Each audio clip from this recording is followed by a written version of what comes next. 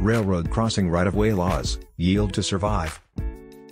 It goes without saying that drivers must proceed with the utmost caution when traveling at railroad crossings or close to railroad lines. When right-of-way regulations are not followed around train crossings, terrible crashes and fatalities can occur.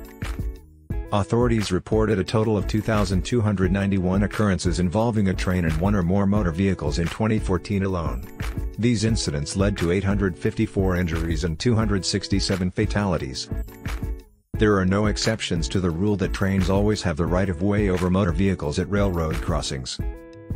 If you are a driver, you must give the right of way or you could lose your life as a result of the infraction. Always move over for trains. Trains always have the right of way over motor vehicles. It is also a legal obligation, in addition to the obvious safety reasons.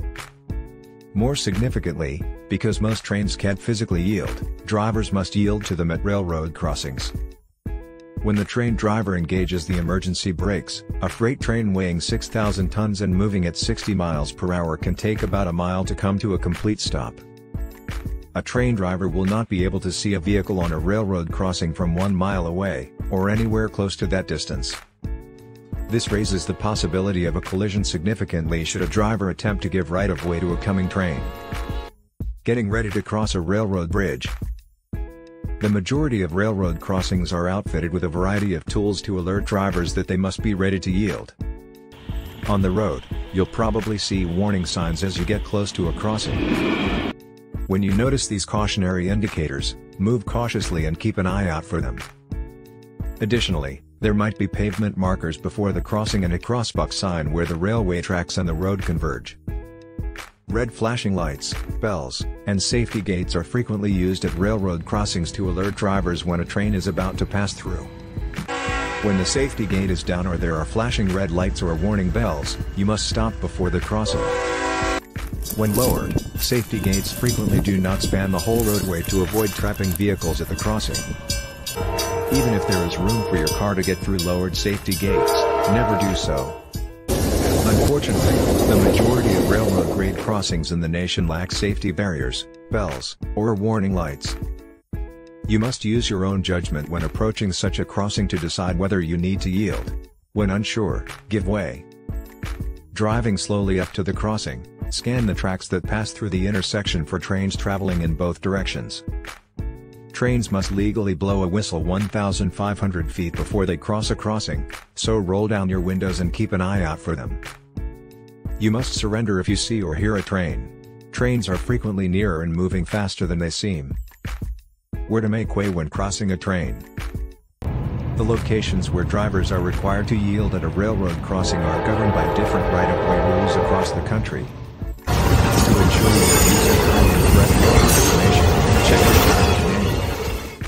Most of the time, automobiles must come to a complete stop within 15 feet and 50 feet of the nearest rail of the tracks in any of the following circumstances. 1. A train is approaching when a bell, a red light that flashes, or a gate is lowered. 2. From any distance, you can see a train coming. 3. There is a train whistle or any other oral alert. 4. A flagger or traffic control officer signals that you must halt. Wait to cross the crossing until you are confident it is safe to do so. When the gates are down or any warning device is still in operation, do not proceed forward. Remember that if there are numerous tracks, multiple trains may quickly pass over the crossing. Special restrictions for vehicle right-of-way. Regardless of whether it appears like a train is approaching or not, some types of vehicles are required to come to a complete stop before crossing a railroad crossing by law.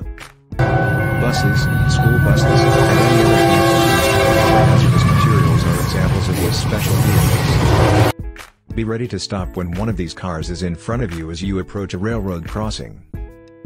Railroad crossings, whether passing or stationary.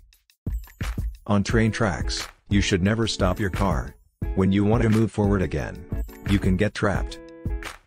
Before attempting to cross, drivers should wait until there is adequate space for their car on the opposite side of the tracks, then drive across in one fluid move. When driving close to railroad tracks, passing other vehicles is severely forbidden. Keep in mind that some vehicles are required by law to stop before crossing railroad tracks. Never try to pass a car that has stopped at a railroad crossing while driving. What happens if you are unable to give way? If your car becomes trapped or obstructed on the tracks, you might not be able to yield to an oncoming train. Get out of your automobile and seek help if it stalls and you are unable to restart it. You might be able to push the automobile over the tracks with assistance from other drivers if there isn't a train on its way. If warning signals are on or you can see a train approaching, do not try this. As soon as you can, get out of the car with all of your passengers and move away from the railroad tracks.